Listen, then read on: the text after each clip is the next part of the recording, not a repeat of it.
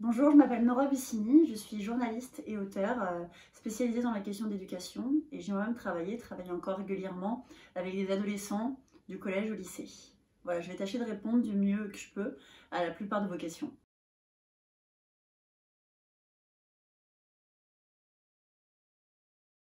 Euh, alors déjà, il est très important de vous dire que vous n'avez pas à céder à votre fille. Euh, déjà, les écrans, euh, à 1 an et même à 3 ans sont vivement déconseillés. À la limite, la télévision à partir de 3 ans et encore. Alors vous n'avez absolument pas à lui laisser les écrans. Si elle hurle, si elle crie, ça doit faire partie de ce que je après, je devrais appeler avec des termes un peu durs, mais ça s'appelle un sevrage. Et il faut le respecter et l'empêcher d'utiliser les écrans quoi qu'il arrive. Même si cela peut avoir un rôle de babysitter en les lui laissant parce que c'est effectivement plus facile et que ça lui fait plaisir.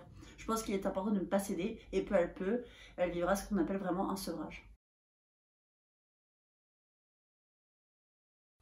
Alors votre fils est en CM1, il veut un smartphone, ça me paraît extrêmement tôt. Euh, généralement quand ils sont à l'école primaire, sauf léger trajet d'une minute ou deux, euh, on dépose ses enfants à l'école. Alors effectivement, s'il y a du trajet à faire, vous pouvez lui laisser un téléphone, mais il n'a pas besoin que ce soit un smartphone, et encore moins avec un accès à Internet. Par conséquent, vous n'avez pas forcément à céder, et encore moins en primaire, je le répète. Alors, il n'est pas besoin d'aller non plus dans les extrêmes entre le Nokia 3310 et le euh, smartphone.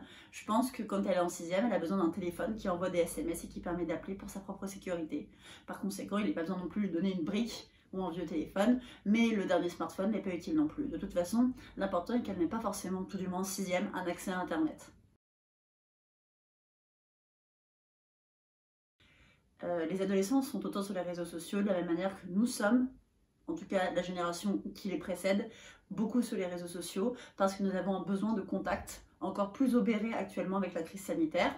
Et par ailleurs, les réseaux sociaux ont des jeux d'influence qu'ils peuvent retrouver dans la cour. Ils peuvent très vite se sentir exclus s'ils ne sont pas sur telle ou telle application, s'ils n'ont pas appris tel ou tel filtre, telle ou telle tendance, tel ou tel hashtag. Et ils ont besoin beaucoup plus de ce côté grégaire, se créer des liens entre eux. Donc c'est une nécessité qu'on peut retrouver à tout âge, pas forcément que, chez les adolescents. Alors les adolescents utilisent les réseaux sociaux de la même manière que... Euh, d'autres générations les utilisent, c'est-à-dire de manière parfois compulsive, mais très souvent ce besoin de se connecter constamment. Donc euh, plus il y a de réseaux sociaux intéressants, plus ils ont envie d'en avoir. Snapchat, TikTok, Instagram. Facebook est un petit peu délaissé, il est vrai. WhatsApp, euh, récemment Telegram au signal, euh, Twitter, voilà, il y en a beaucoup, et ils ont besoin d'en avoir beaucoup pour être le plus connecté possible.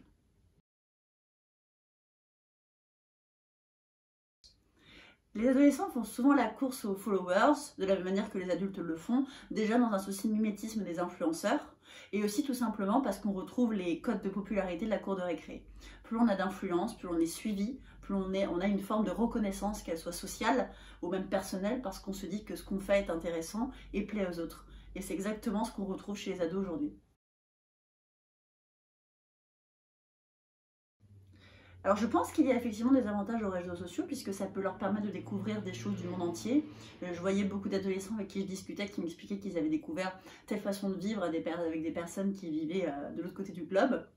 Ça leur permet aussi euh, de pouvoir discuter avec leurs amis très régulièrement, avec leur famille, peut-être qui vit à l'étranger, avec des correspondants ou d'autres. Mais je pense que comme tout, ça doit s'utiliser avec modération. En fait, le problème avec les adolescents, c'est qu'ils ne se rendent pas compte de, toutes les données qu'ils peuvent laisser sur Internet.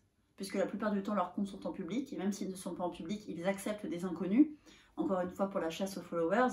Et c'est ça en fait le problème, c'est qu'ils ne se rendent pas compte d'où vont les informations qu'ils distillent un petit peu partout. Des photos, euh, des adresses, des goûts, des numéros de téléphone. Ils peuvent être vraiment atteignables. Et c'est ça le problème des réseaux sociaux, c'est qu'on ne sait pas qui il y a derrière l'écran. On le répète, mais toujours pas assez. Alors, je ne suis pas du genre à déconseiller formellement quoi que ce soit. Néanmoins, je pense que s'il y a un réseau social qu'un adolescent ne devrait pas avoir, c'est Twitter. Euh, Twitter, quand on est surtout très jeune, euh, c'est extrêmement nocif parce que tout va beaucoup trop vite. D'ailleurs, même beaucoup de politiques, surtout sous le feu des projecteurs, à cause de ce réseau social, ils virent extrêmement vite au harcèlement. Euh, vraiment beaucoup moins qu'Instagram, par exemple. Après, j'ai parfois quelques doutes avec Snapchat, néanmoins, on ne peut pas leur empêcher d'utiliser ce réseau social qui est celui de la génération Z pour communiquer. Je dirais avant tout Twitter. Alors je ne pense pas forcément qu'il faille créer des comptes sur des réseaux sociaux pour pouvoir les comprendre. Il existe des tutos extrêmement faciles disponibles sur internet. Moi-même je n'ai pas TikTok et pourtant je sais parfaitement comment cela fonctionne par le biais de mes amis, par le biais de YouTube et de tutos explicatifs. Par ailleurs, si vous voulez créer un lien avec votre adolescent, il est tout à fait simple de lui demander de, vous montrer comment cela fonctionne. Même si certains adolescents peuvent vous cacher quelques fonctionnalités qui peuvent être un petit peu embarrassantes ou que vous pouvez voir d'un mauvais œil.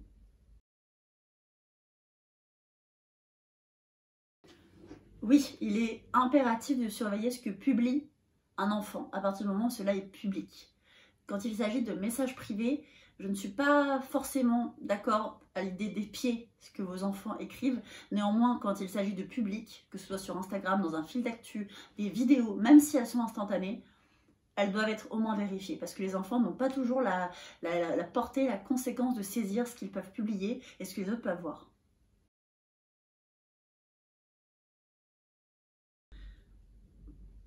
Alors, euh, de manière intrusive, le terme est déjà un petit peu péjoratif.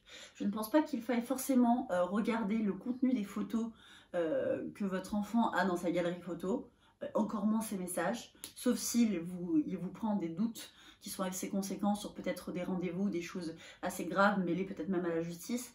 Mais on n'est pas dans ce cas de figure-là. En tout cas, moi je le répète, tout ce qui est lié au public, doit être consulté par les parents. Mais ce qui est du domaine privé, des messages ou des photos privées sur le téléphone ne sont pas forcément à vérifier.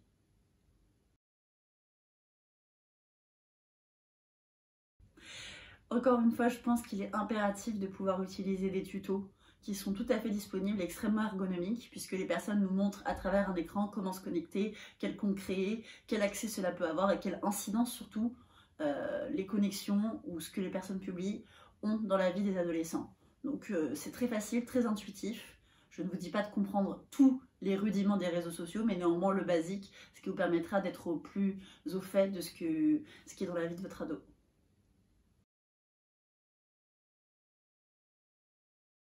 Alors je pense qu'il faut vraiment demander à votre ado qu'il se pose la question à chaque fois qu'il publie quelque chose, qu'est-ce que je n'aimerais pas retrouver dans 10 ans, dans 20 ans ou même dans 30 ans? Qu'est-ce qui peut nuire à une vie professionnelle plus tard? Qu'est-ce qui peut nuire tout simplement sur du long terme? Les ados n'ont pas forcément la portée pour pouvoir se rendre compte des risques et des incidences qu'il y aura plus tard sur leur avenir. Néanmoins, il faut savoir que sur Internet, tout reste. Et en l'occurrence, pour beaucoup d'adolescents qui peuvent poser des photos que eux jugent jolies, ou parfois même légèrement sexy, peuvent être réutilisées par des personnes euh, malhonnêtes, ou même à des fins parfois euh, malheureusement pédopornographiques. Et ça, il est impératif que les adolescents le saisissent. Ils ne savent pas qui il y a derrière l'écran, ils ne savent pas à qui ils envoient les photos qu'ils envoient ou les messages qu'ils envoient.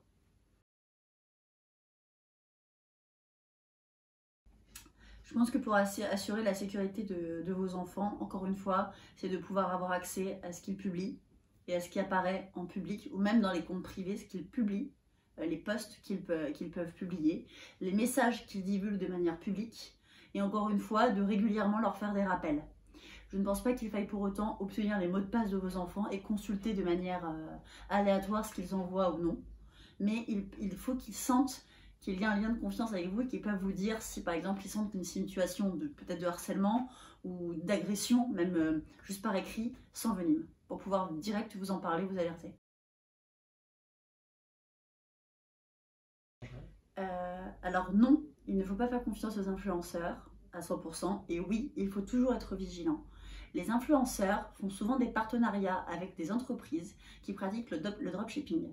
En fait, le dropshipping, il s'agit d'acheter des produits à très bas prix et de les revendre 3 à 4 fois, voire beaucoup plus, leur prix initial. Et les influenceurs revendent et font des partenariats avec ces produits pour que les adolescents soient juste extrêmement intéressés à l'idée de se dire qu'ils achètent la même palette de maquillage que tel ou tel influenceur qui a 1 million d'abonnés alors qu'elle vaut 2 euros sur le marché et qu'elle est revendue à 40 euros. Voilà le problème. Sauf qu'il y a aussi un autre souci auquel on ne pense pas forcément, c'est que les adolescents sont très souvent victimes de faux concours. En fait, ces faux concours, euh, les adolescents participent et après ils reçoivent un message qui leur dit qu'ils ont gagné, euh, mais que pour cela il faut juste qu'ils payent les frais de livraison pour pouvoir recevoir le cadeau. Ou alors au contraire, est-ce que vous pouvez juste me donner votre adresse ou même votre mot de passe Et c'est là que les ennuis commencent. Donc il faut être extrêmement vigilant et ne pas hésiter à communiquer avec les ados, leur demander à quel concours ils participent, quel est le produit qu'ils peuvent gagner et quelles sont les informations qu'ils donnent avant de participer.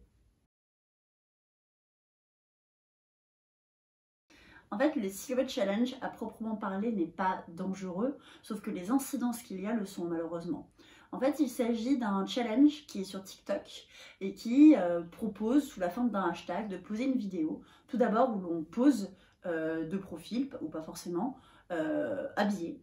Et après, on met une lumière rouge. Et quand cette lumière rouge apparaît, il s'agit d'être soit totalement nu, dénudé ou en sous-vêtements, et de poser pour que juste se dessine en fait la silhouette. Sauf qu'il est très facile sur pas mal d'applications de pouvoir supprimer cette lumière rouge et qu'apparaisse en fait euh, l'adolescent euh, totalement nu ou en sous-vêtements. Donc voilà, cela peut avoir une incidence pédocriminelle, mais pas forcément, il peut s'agir même d'un chantage d'amis qui vont du coup diffuser les photos de la personne euh, à moitié nue, dénudée ou en sous-vêtements. En fait, c'est très simple. Déjà, vous êtes parents, ils sont adolescents la crise internationale aura lieu peut-être une fois, peut-être fois deux, mais ce n'est pas une raison pour céder. Il s'agit juste de dire que c'est un temps de dîner, c'est un temps de balade, où les téléphones, quels qu'ils soient, ne sont pas admis, ceux des parents comme ceux des enfants. Un temps où l'on se retrouve autour d'un jeu de société ou autour d'un dîner. Vous n'avez pas forcément de compte à rendre, vous n'avez pas à vous justifier, vous avez envie de passer du temps en famille. Et ça, il est, il est vraiment primordial de l'installer le dîner le plus conseillé, même si c'est pas un dîner tous les soirs, je peux comprendre qu'il y ait des parents euh, qui t'annulent les boulots beaucoup plus, beaucoup plus tard, pardon, mais au moins plusieurs dîners par semaine et ou des balades le dimanche, mais des moments en famille qui ne sont pas parasités par les téléphones. Alors euh, là, en l'occurrence, il est vraiment impératif de créer le dialogue, parce que si les adolescents se retrouvent confrontés à des situations comme celle-ci, et franchement je ne le souhaite pas, il faut qu'ils puissent se dire qu'ils ont une oreille euh, à laquelle se tourner, et c'est la vôtre. Par conséquent, il faut qu'ils soient déjà préparés à l'idée que cela existe, pas forcément pour eux, mais également même pour des amis, s'ils ne se rendent pas compte peut-être de la portée de leurs actes, mais euh, telle ou telle situation peut relater du harcèlement. Et il est impératif que vous puissiez parler avec eux pour qu'ils puissent se dire, papa, maman, euh, la situation s'envenime et me dépasse totalement, j'ai besoin de votre aide.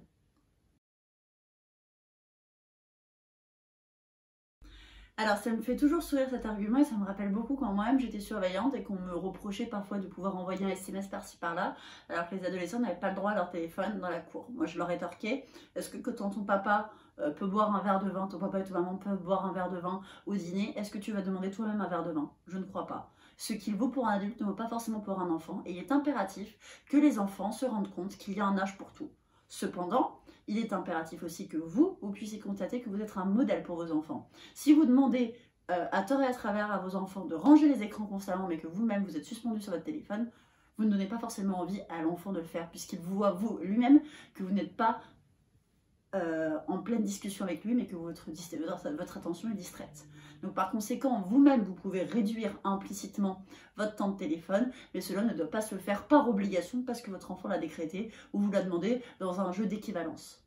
Il n'y a pas forcément d'équivalence entre un adulte et un enfant.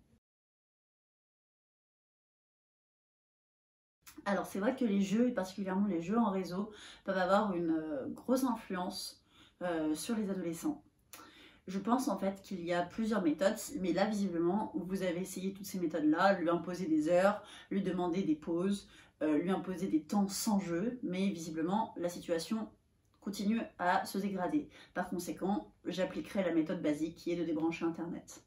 Voilà, ça peut paraître peut-être dur, peut-être sévère, mais il y a un moment où il faut que l'enfant se rende compte que si on lui impose des règles d'arrêter les écrans à une telle ou telle heure parce que les écrans bleus ont une incidence notamment sur le sommeil, sur la concentration, sur l'attention, c'est qu'il y a une bonne raison pour cela. En l'occurrence, les jeux en réseau sont très vite addictifs.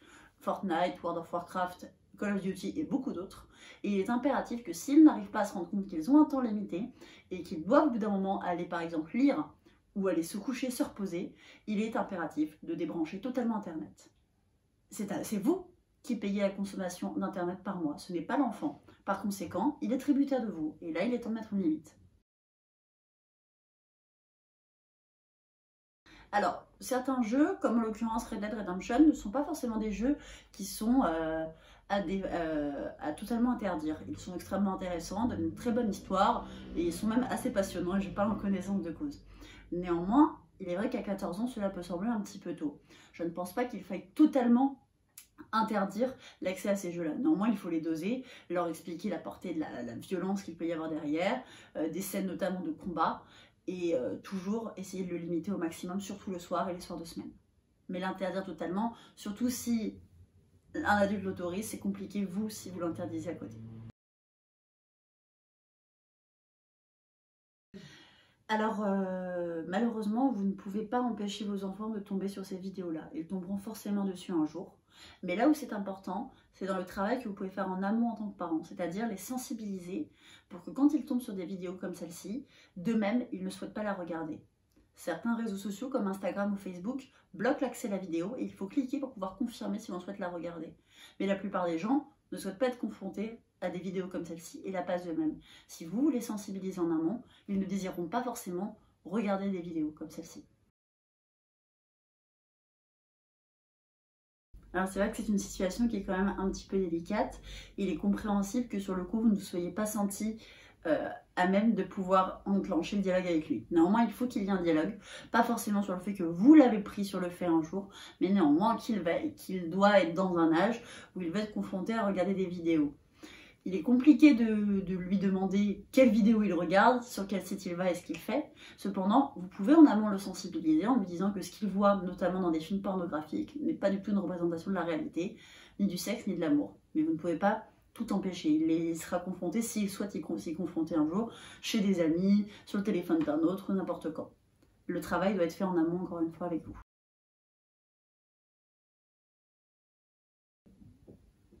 Encore une fois, je vais être extrêmement dure et je comprends que tout le monde ne soit pas d'accord avec moi, mais il faut couper Internet. Couper plutôt que déchirer est une citation qui, en l'occurrence, peut être efficace. Vous payez Internet tous les mois pour que votre enfant puisse se connecter et devienne insolent et addict.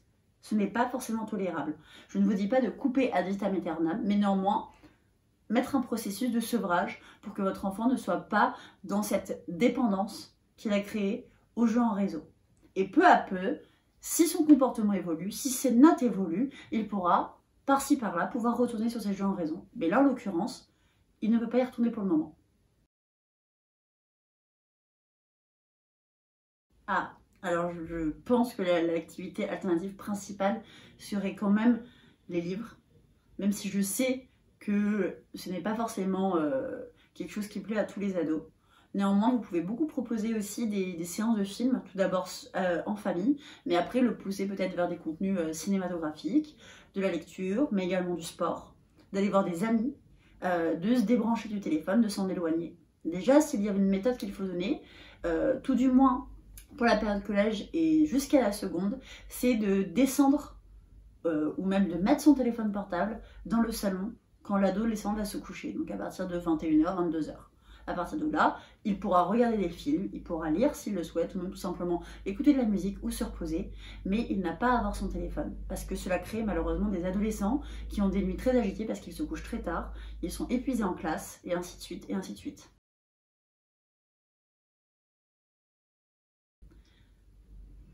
Alors, euh, il faut déjà partir, comme vous le disiez, sur une base de la confiance. Si la confiance n'est pas encore trahie, c'est qu'elle a encore lieu. Par conséquent, vous devez créer encore une fois du dialogue et de la communication pour que votre enfant de lui-même euh, se mette à vous raconter s'il y a des choses qui l'inquiètent ou le perturbent. Néanmoins, il est vrai que de vous-même, vous pouvez parfois prendre son téléphone et lui demander qu'il vous montre de lui-même, pas que vous fouillez, mais qu'il vous montre ce qu'il publie, ce qu'il partage et ce qu'il fait. Comme ça, vous avez quand même toujours un œil et il voit que vous êtes vigilant ou vigilante sur ce qu'il pote ou ce qu'il fait. Alors voilà, moi je pense que pour finir, euh, je vais essayer de donner quelques conseils euh, qui récapitulent en même temps les réponses que j'ai pu faire aux questions. Je pense qu'avant tout, vous ne pouvez pas empêcher vos adolescents d'être confrontés aux réseaux sociaux. Donc le mieux à faire, c'est de s'immerger dans leur monde.